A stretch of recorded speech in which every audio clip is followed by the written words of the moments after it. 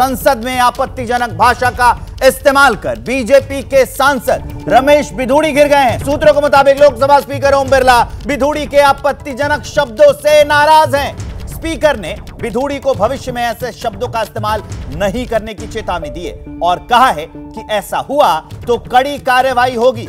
रमेश बिधूड़ी, जिनकी तस्वीरें आप देख रहे हैं, आपत्तिजनक भाषा का इस्तेमाल किया स्पीकर नाराज़ हुए। कड़ी चेतावनी दी है कि भविष्य में ऐसे शब्दों का इस्तेमाल नहीं होना चाहिए। अगर हुआ तो कड़ी कार्रवाई की जाएगी। ये अपडेट हम आपको बता रहे हैं। अब क्या है कि बिधूड़ी के अमर्यादित बोल पर सियासी संग्राम छिड़ गया है। कांग्रेस ने बिधूड़ी के शब्दों को बीजेपी की सोच करा दे दिया। शिवसेना ने लोकसभा स्पीकर से बिधूड़ी के खिलाफ कड़ी कार्रवाई करने की मांग की है। सुना देते हैं आपको नई पार्लियामेंट की शुरुआत बिदूरी से हुआ है, इनके शब्दों से हुआ है, और ये बीजेपी की मंशा को दर्शाता है।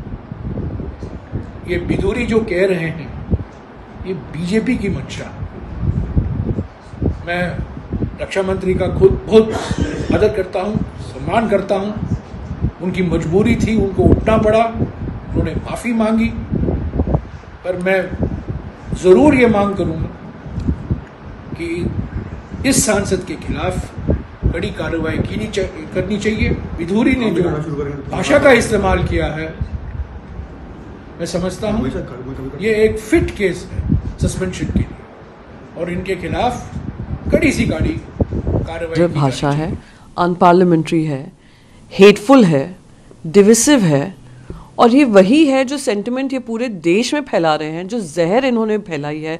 आज वो पार्लियामेंट के नए पार्लियामेंट में गूंज रहा है। शर्मनाक है और मैं मानती हूँ स्पीकर को इस पर जल्द से जल्द कार्रवाई करनी चाहिए। अब इस पर जुड़ रहे हैं हमारे साथ अभिषेक उपाध्याय और जैनेन्द्र, हमारे दोनों वरिष्ठ संवाददाता। सबसे पहले चलते अभिषेक के पास। अभिषेक, ये वो दौर है जब सभी पार्टियाँ फूक फूक कर कदम रख रही हैं और चाहती हैं कि हर एक चीज़, हर एक उनके कृत्य से 2024 की रात है। वो वैसे में भी दूड़ी का बयान। अब कांग्रेस इसको लूटने का कोशिश करेगी। मुद्दा तो बनाएगी कांग्रेस। देखिए ये बहुत बड़ा जिसे कहते हैं सेल्फ गोल ये एक तरह का सेल्फ गोल है और बीजेपी के लिए बहुत ही एम्बेरसिंग है। हमारी जो जानकारी ये है कि पार्टी नेतृत्व भी इससे काफ़ी ना, खासा नाराज़ है।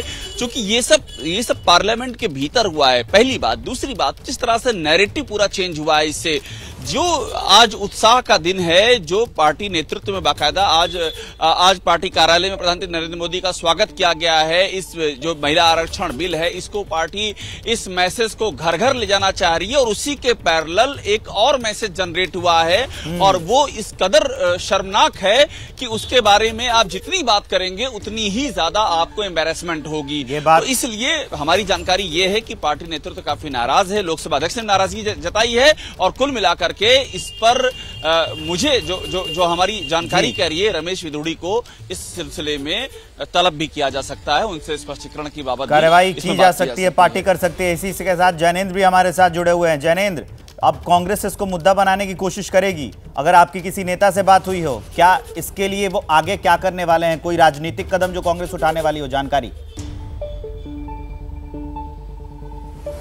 बिल्कुल, देखिए कांग्रेस ने साफ़ तौर पर अभी जयराम रमेश का बयान हमने सुनवाया कि कांग्रेस ने इस बयान की निंदा की है, आपत्तिजनक बताया और कहा है कि ये सिर्फ़ दानिश अली नहीं, जिनको टारगेट करके रमेश विदुड़ी ने कहा, ये पूरे संसद का अपमान है। न सिर्फ़ कांग्रेस, बल्कि शिवसेना को आपने सुना, तृणमूल कांग्रेस की तरफ़ से निंदा की गई है। रमेश विदुड़ी को सस्पेंड करने की मांग विपक्षी दल कर रहे हैं, जिस तरीके की भाषा का इस्तेमाल रमेश विदुड़ी ने फ्लोर ऑफ़ द हाउस पे किया। लोकतंत्र जो है संसद जो है, लोकतंत्र का मंदिर कहा जाता है और उस उसके अंदर जिस तरीके से रमेश विदुड़ी ने जिन शब्दों का इस्तेमाल किया वाकई इसके लिए किसी विपक्षी दल के बयान की ज़रूरत नहीं। वाकई में बहुत शर्मनाक और बहुत ही घटिया किस्म का बयान रमेश विदोड़ी ने दिया। उससे पूरे संसद की मर्यादा जो है वो तार तार हुई।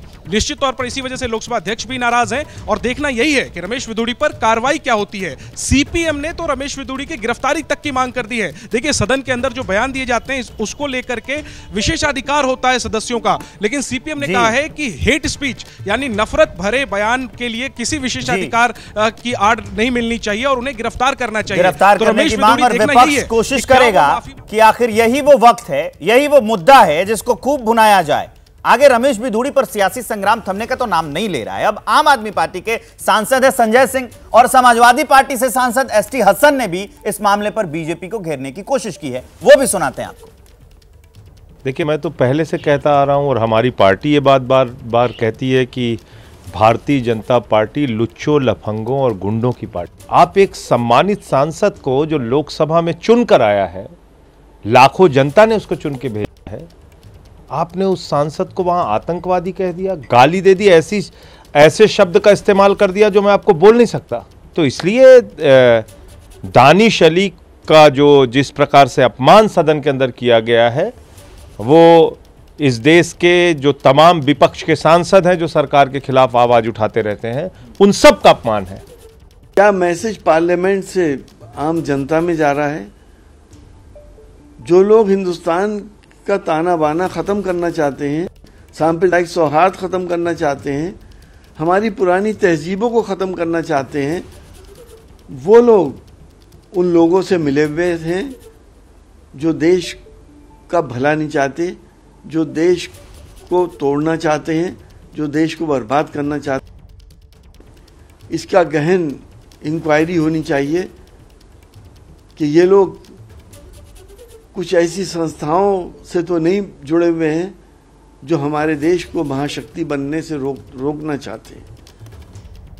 तो मुद्दा तो बड़ा है, मुद्दा गंभीर भी है, क्योंकि आम बोलचाल की भाषा में कहा जाता है कि संसदीय भाषा का इस्तेमाल करे, असंसदीय का इस्तेमाल न करे, और उसी संसद में ऐसा होगा तो विपक्ष तो घेरने की कोशिश करेगा। अब उसी में आगे बढ़ते हुए बिधूड़ी के बोल पर अब ओवैसी ने एआईएमआईएम वाले असदुद्दीन ओवैसी, उन्होंने हमला बोला है, हर रोज एक नया निचला स्तर मिल जाता है, ओवैसी का कहना है। ओवैसी ने ट्वीट किया और ट्वीट करके लिखा है कि इस वीडियो में चौंकाने वाला कुछ नहीं है। भाजपा एक अथाह खाई है, इसलिए हर दिन एक नया निचला स्तर मिल जाता है। मुझे भरोसा है कि इसके खिलाफ कोई कार्रवाई नहीं होगी। एआईएमआईएम के ओवैसी अब ट्वीट करके ये कह रहे हैं, बीजेपी को घेरा है और कहा है कि हर रोज एक निचला स्तर मिल जाता है और कार्रवाई भी नहीं होगी।